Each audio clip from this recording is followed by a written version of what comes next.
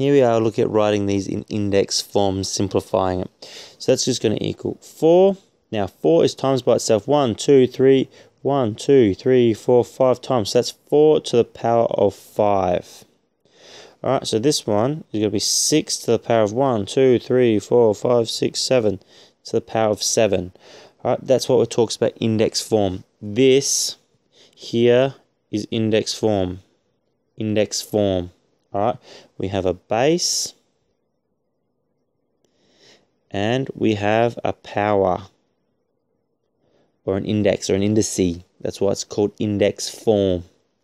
Alright.